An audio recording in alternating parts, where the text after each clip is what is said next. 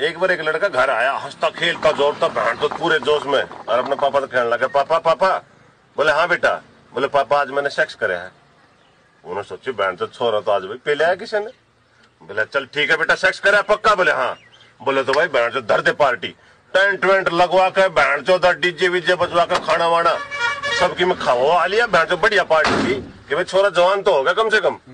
ना उम्मीद ना आती है। हाँ दूसरे दिन उठ के किशन जैसा लड़का था, शरीफ सा पता था नहीं। और अपने पापा से कहने था पापा, बोले हाँ बोले मैंने कल सेक्स करा था ना, मेरी गांड दुख है, एक दिन तक और दुखेगी।